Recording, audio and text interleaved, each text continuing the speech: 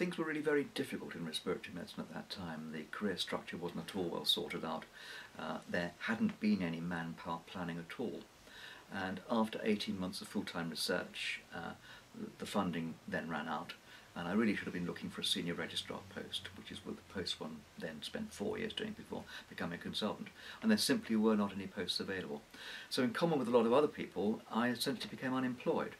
Uh, people, some people emigrated, some went into other specialties, and I kept the wolf from the door by a, few days GP locum here, who didn't have to have special training in those days, working as a geriatric senior house officer.